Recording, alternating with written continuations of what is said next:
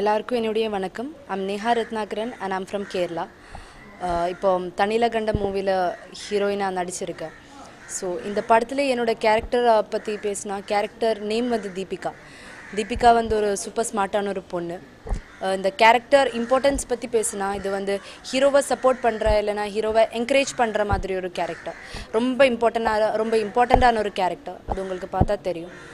And um, இந்த படம் you know எல்லாம் வந்து பெரிய பெரிய காசு தான் இருக்குது ஸோ முதல் படமே இப்படி ஒரு நல்ல க்ரூ கூட ஒர்க் பண்ணதுக்கு வந்து நான் ஐம் ஸோ லக்கி அண்ட் கண்டிப்பாக அதுக்கு கொடுத்து வச்சுருக்கணும். நான் கொடுத்து வச்சு தான் இருக்கேன்.